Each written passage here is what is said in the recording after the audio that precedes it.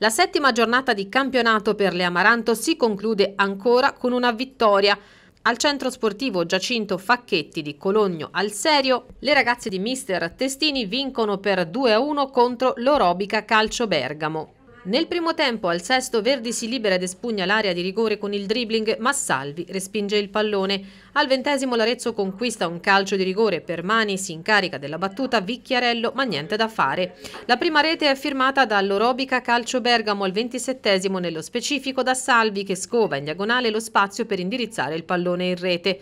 Nel secondo tempo le bergamasche operano un pressing intenso sulle Amaranto non facendole giocare al meglio. Al diciottesimo entra Gnisci al posto di Zelli. Poco prima il direttore di gara sfodera il cartellino giallo per Pasquali e Tuteri, poi Paganini sostituisce la capitana Verdi. Tutto cambia al ventinovesimo quando un calcio di punizione dà la possibilità a Vicchiarello di rimediare all'errore dal dischetto e centra il gol al 37esimo. È 1-1, un pareggio che durerà poco per il ribaltone, basta attendere il 45esimo e l'intervento di Paganini che porta a casa il secondo gol di campionato, una conclusione da fuori aria che permette ai tifosi di esultare a fianco delle calciatrici Amaranto.